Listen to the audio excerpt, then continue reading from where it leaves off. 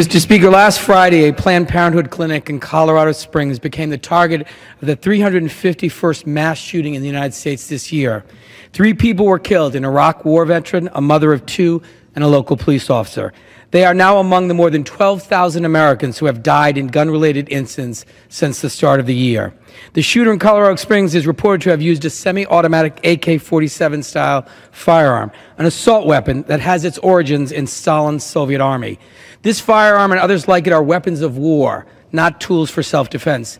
They serve no purpose other than to kill, and we can no longer permit the proliferation of and easy access to these weapons in the United States. That's why in the coming weeks I will be introducing legislation that reauthorizes the assault weapons ban. During the 10 years this ban was in effect, localities reported as much as a 72% decline in gun crimes involving assault weapons.